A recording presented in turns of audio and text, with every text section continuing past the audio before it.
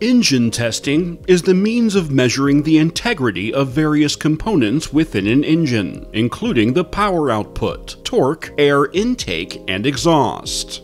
By testing an engine, it can determine any flaws that have occurred within specific parts of an engine, including the cylinders, crankshaft, exhaust manifold, etc. These types of tests are important for many different applications, including product development, government regulation and certifications, manufacturing requirements, and everyday engine enthusiasts. There are different methods used in order to test these components within an engine. The engine can either be hot tested with a load put on it, or an unloaded hot test can be performed.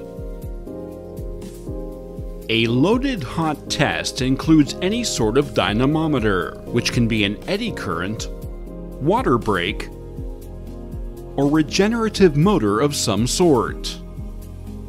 Each of these mechanical devices measure the torque and power output of an engine. An unloaded hot test includes measuring the engine components by means of running the engine without the use of a dynamometer. The other type of method includes a non-firing test, which involves spinning the engine by means of an electric motor. As the name implies, non-firing, this type of engine method does not use any fuel or cause any sort of combustion.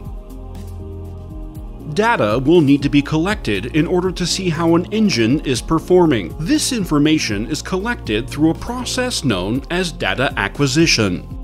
Data acquisition functions by picking up a signal from a sensor or transducer. This signal will then be conditioned, amplified, and converted into a digital format before being transferred to a computer for further analyzation. In order for engines to be tested, there must be some common instrumentation used, such as pressure sensors, airflow sensors, temperature sensors, torque sensors, vibration sensors. All of these sensors are necessary to be able to convert the stimulus being measured such as heat, temperature, and pressure into a readable signal.